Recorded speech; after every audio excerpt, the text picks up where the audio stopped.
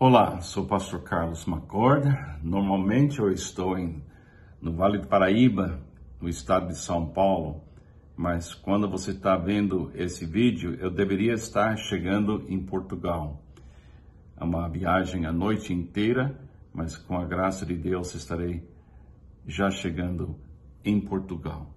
Mas vamos continuar nossas leituras durante essa viagem um, do Oswald Chambers. Estamos lendo a, a, do dia 20 de janeiro, agora, claro, não é 20 de janeiro, mas é 13 de maio.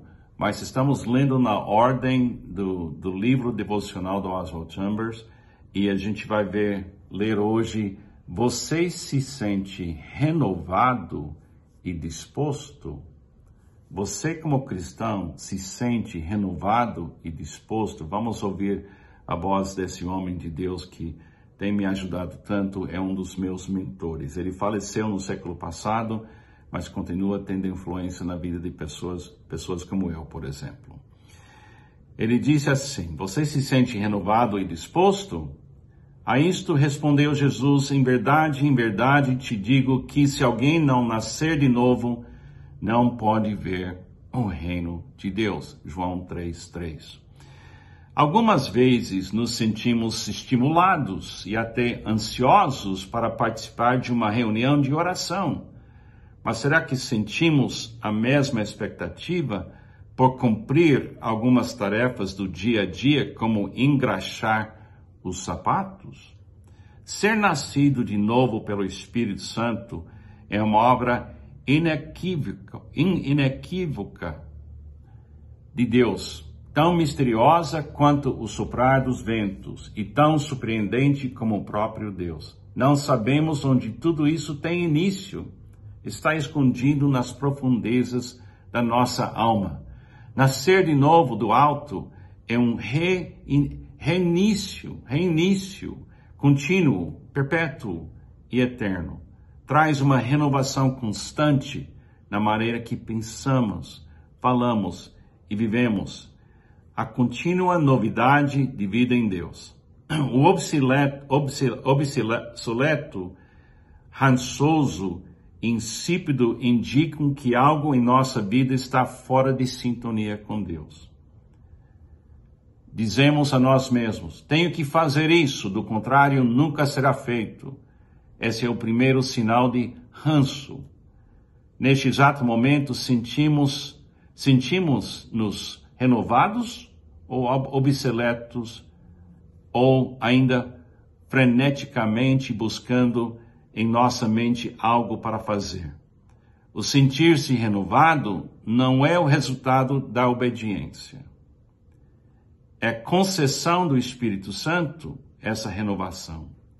A obediência nos mantém na luz como ele está na luz. Preserve com zelo o seu relacionamento com Deus. Jesus orou para que sejam um como nós o somos, sem qualquer obstáculo. João capítulo 17, 22. Mantenha sua vida continuamente aberta para Jesus Cristo. Não finja estar disposto a fazer a vontade do Senhor. Você está se alimentando de outra fonte a não ser a de Deus? Se você estiver dependendo de algo mais como sua fonte de vigor e força, não perceberá quando o poder de Deus cessar. Nascer do Espírito significa muito mais do que normalmente pensamos. O novo nascimento nos concede uma nova visão e nos mantém totalmente dispostos para realizar todas as coisas por intermédio do inesgotável suprimento da vida de Deus. Deixa eu ler essa última declaração dele para a gente meditar nisso um pouco. Nascer do Espírito significa muito mais do que normalmente pensamos. O novo nascimento nos concede uma nova visão e nos mantém totalmente dispostos para realizar todas as coisas por intermédio do inesgotável suprimento da vida de Deus. Cremos Ele levanta essa, essa pergunta: cremos que existe um tipo de apoio que vem para nós continuamente para nos manter dispostos, acordados, abertos para a nova realidade cada dia. Existe um apoio mental, emocional, existe através do novo nascimento uma garantia de um tipo de apoio jorrando em nós todos os dias? Existe. Pelas palavras de Jesus, sabemos: quem crê em mim, do seu interior fluirão rios de água viva. É uma metáfora de abundância e de apoio. Quem permanece dará fruto. Esse permanecer é viver esse relacionamento que ele menciona sem obstáculos, sem barreiras. Eu tenho que confessar que muitos dias eu não acordo com energia ou disposição ou alegria. Mas quando eu percebo isso, eu não tento forçar, ou como ele diz, fingir.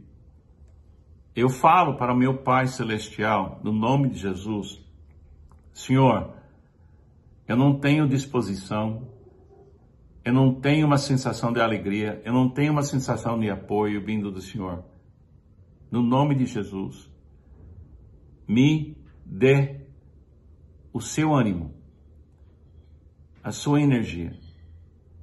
Eu creio na obra do seu filho. Eu creio na sua presença na minha vida, na presença de Cristo na minha vida, na presença do Espírito Santo na minha vida. Enche minha vida com a disposição, a energia de viver este dia a gente, se não tomar cuidado, a gente começa a fingir, porque as pessoas esperam de nós sorrisos e alegrias, então a gente começa a imitar essa realidade em vez de viver essa realidade. É perigoso quando a gente não leva a sério essa necessidade de começar todo dia buscando primeiro o reino de Deus e sua justiça, e todas as outras coisas nos serão acrescentadas. E na lista de coisas que ele pode acrescentar é energia, entusiasmo, alegria, uma disposição de amar. E quando essas coisas, esse apoio vem, a gente sabe que é do Espírito. Aí isso, dá, isso dá condições para a gente obedecer o que Deus quer. Mas Ele é generoso e a gente precisa receber essa generosidade um dia de cada vez, permanecendo em Cristo. Eu acho que ele está com muita razão aqui. Não finja estar disposto a fazer a vontade do Senhor. Você está se alimentando de outra fonte a não ser a de Deus? Aí vem a questão.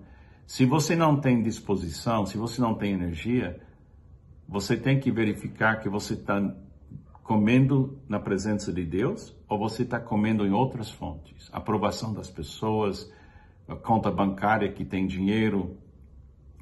Se você se alimentar das coisas passageiras, você não terá a energia de viver de uma forma disposta e forte e na alegria de Deus.